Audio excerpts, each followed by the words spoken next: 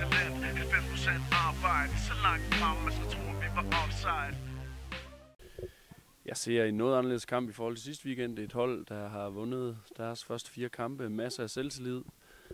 Vil utrolig gerne spille fodbold, er gode til at dominere kampene, spiller hurtigt og har rigtig mange gode spillere. Jamen, øh, jeg ser det som en ufattelig spændende kamp. Det er jo gået hen og blevet en topkamp med to hold med maksimum point, så det er jo fantastisk, og man kan spille i en, øh, en klub som Hobro, og så spille topkamp mod Horsens i femte kamp, så det er fantastisk.